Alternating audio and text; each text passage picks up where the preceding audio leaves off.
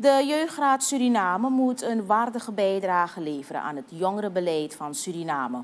Daarom zal er vanuit het uitgeschreven beleid de focus van de jeugdraadsleden vooral gericht zijn op het bevorderen van jeugdparticipatie in de districten.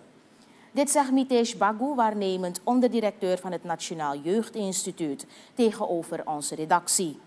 Volgens Bagu wordt gewerkt aan trainingen die moeten leiden tot ontwikkeling van de nodige vaardigheden.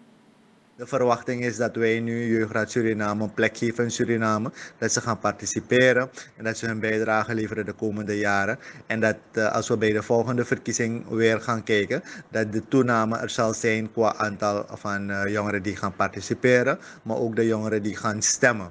Ik denk dat we zeker uitkijken naar uh, de trainingen die ze gaan uh, krijgen de komende periode. Omdat op basis van die trainingen we heel veel projecten gaan moeten uitvoeren voor de jongeren van Suriname.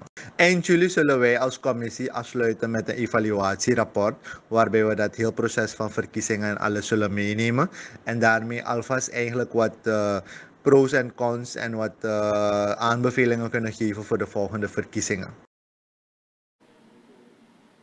De verkiezingen die op 1 juni 2023 plaatsvonden waren de eerste digitale in het Caribisch gebied. De installatie van de gekozen kandidaten vindt plaats op 18 juli